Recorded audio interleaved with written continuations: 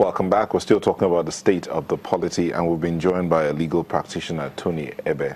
Thank you for joining us. Thank you. I'm so glad to be here. Um, I'm sure you caught a few seconds of the conversations, but let Mr. Thompson finish. You come in to look at us to tell us about the Constitution that we've had and the ones that we should have. Mr. Thompson.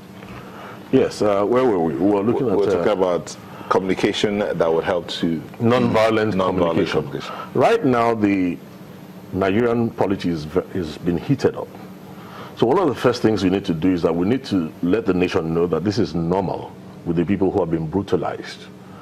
India would not have survived if Gandhi did not introduce non-violence. Now, in the Nigerian case, we need to introduce non-violence into the national narrative so that discussions that are meaningful can go on. Uh, it has been pointed out rightly by the uh, vice president in his capacity as acting president that uh, hatred is one of the biggest challenges. And let's remember that hatred is not just on the surface, it's inside the heart.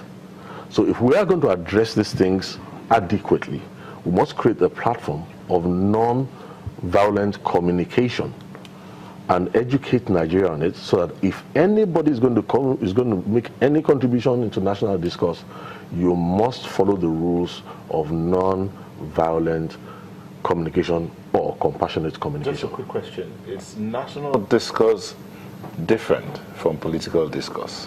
Well, there could be contaminants if we we choose to for this platform. We could, you know, permit the permit the terms Because- to be switched. Because sometimes when the politicians talk, they talk like politicians. Yes. And then when they when they come to this other side, they begin to talk like national. So how do we balance that? No, no, no. You see, for statesmen, let me tell you something. Um, in politics, people think about now.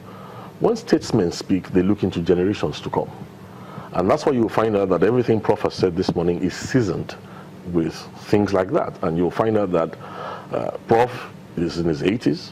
We are in almost in our 60, we're almost running into 60 soon. We don't plan to leave a nation behind that is going to be in turmoil and leave bloodshed behind for our children.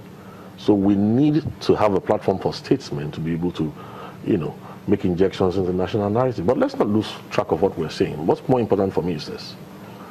What the American forefathers did was that they first created programs to heal the wounded psyche of the American colonies. The natives. Yes, the natives. And people like uh, Thomas Paine wrote the book uh, Common Sense. The people felt they were not good enough to have a nation of their own in 1775, 1776. That's why in Nigeria, when we were going to become a nation, we were not able to do it by ourselves. We needed the supervision of the people who had been our colonial masters, which was a grave error. In the American case, they had people who were able to think it through that, wait a minute, how can we allow the people who enslaved us to be the ones to set the foundation of our nation? That takes you back to what Obafemi Awolowo noticed in 1968. It takes you back to what uh, uh, Tafa, Abubakar Tafawa Balewa mentioned as intractable problems in 1960, in the 7th of October.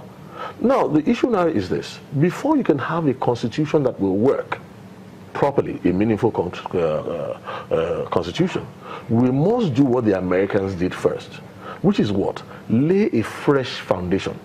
Recognizing that there are tribal nations, recognizing that there must be unity in diversity and then create a program that will mop up all the hatreds across the country is doable. And then on that program, we can now lay down a constitution that will now be meaningful. And I want to emphasize again, most of the problems Nigeria has today are problems that were created even before Nigeria was born.